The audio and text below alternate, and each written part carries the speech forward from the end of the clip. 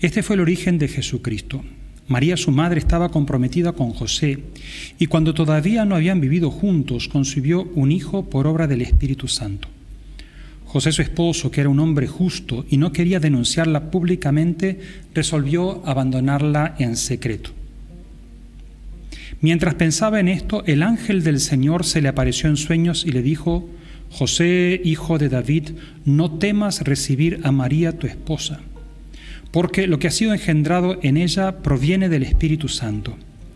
Ella dará a luz un hijo a quien pondrás por nombre Jesús, porque él salvará a su pueblo de todos sus pecados. Todo esto sucedió para que se cumpliera lo que el Señor había dicho por el profeta. La Virgen concebirá y dará a luz un hijo a quien pondrán por nombre Emmanuel, que traducido significa Dios con nosotros. Al despertar, José hizo lo que el ángel del Señor le había ordenado y llevó a María a su casa. Palabra del Señor. Gloria a ti, Señor Jesús. Estamos a una semana del nacimiento del Señor y así como el Señor le anuncia a María que va a concebir en su seno por obra del Espíritu Santo, también en el relato que acabamos de escuchar hoy es el anuncio a José. José, esposo de María, pero que todavía no convivían, y al saber que María está embarazada decide dejarla. Pero el ángel le anuncia que lo que es concebido en el seno de María proviene del Espíritu Santo. Y allí se le dan dos nombres a Jesús. Por un lado, justamente, Jesús, tú le pondrás por nombre Jesús, porque Él salvará al pueblo sus pecados. Jesús quiere decir Dios salva. Yeshua es un nombre conocido, Josué, en el Antiguo Testamento, que quiere decir justamente Dios salva. Y después al final dice referencia al profeta Isaías, que habíamos leído en la primera lectura, el capítulo 7, la profecía de Ahaz, a Ahaz. Aquí el Señor te dará una señal, mira, una doncella está embarazada y dará a luz un hijo y le pondrá el nombre de Emanuel. En el tiempo del profeta se estaba refiriendo a una doncella que, era la, que el, rey iba a tener un, hijo.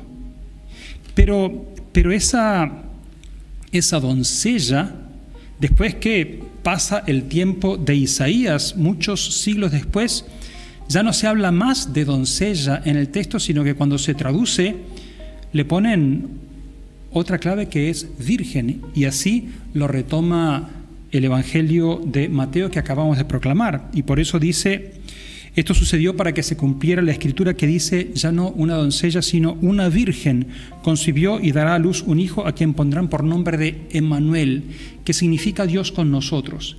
Entonces, los dos nombres que se le dan al hijo que van a nacer y los dos nombres que hacen referencia a su propia misión. Por un lado Jesús, porque Él salvará al pueblo de sus pecados, y por otro lado Emmanuel, que es Dios con nosotros.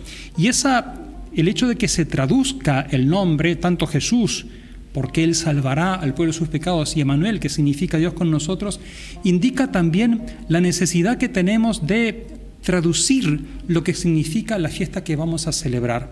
Porque la Navidad próxima de la semana que viene, todos nos vamos a saludar con el saludo de feliz Navidad, no felices fiestas, sino feliz Navidad, porque la fiesta específica que estamos celebrando ahora es el nacimiento de Jesús y gracias a Dios tenemos todas las balconeras que nos están anunciando esta Navidad que es Navidad con Jesús. Y gracias a Dios también se mantiene incluso en la cultura y en aquellos que no, no saben bien que están celebrando, ese, ese saludo de feliz Navidad. Y ciertamente que es una feliz Navidad porque es la natividad, el nacimiento de Jesús el Salvador, porque Él salvará a su pueblo de sus pecados, y el Emanuel, que es Dios con nosotros. Y así como están traducidos, necesitamos de alguna manera nosotros traducir para hacer presente. Traducir quiere decir poner en palabras que sean comprensibles para aquel que las escucha.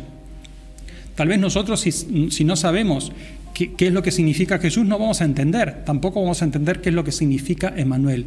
Él salvará al pueblo. Tenemos un Salvador. Y no hay dimensión de nuestra vida y no hay dimensión de la historia que no esté tocada por aquel que se hizo carne en el seno de la Virgen. Entonces tenemos que gritar y vivir esta buena noticia. Hay un Salvador. La, la, la historia está llena de sentido porque a pesar de que haya muchas circunstancias que nos duelen, y es cierto que hay injusticias, que hay corrupción, que hay guerras, que hay explotación, es cierto eso, pero eso no tiene la palabra final en la historia. La palabra final la tiene un niño que ha nacido, que nos ha sido dado, un Salvador. Entonces, tenemos la necesidad de traducir para nosotros qué es lo que significa Jesús, el Salvador. Y por otro lado, el otro nombre que tiene que es el Emanuel, salva estando con nosotros.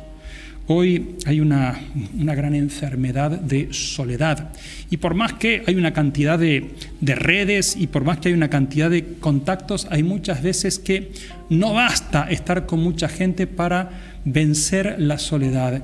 Y Dios viene a darnos respuesta. Tú no estás solo. Ustedes no están solos. Yo estoy con ustedes. Y ese Dios con nosotros, el Salvador, Jesús, y el Emanuel, Dios con nosotros, viene para enseñarnos a ser nosotros con nosotros. Dios que es el totalmente otro, baja y asume nuestra propia naturaleza en la carne de Jesús y se hace Dios con nosotros en esa comunión para enseñarnos a que nosotros, con nuestros hermanos, seamos nosotros con nosotros.